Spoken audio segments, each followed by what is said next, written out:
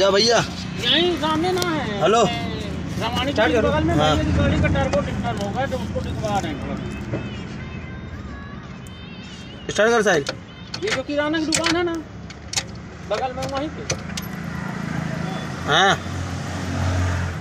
हाँ,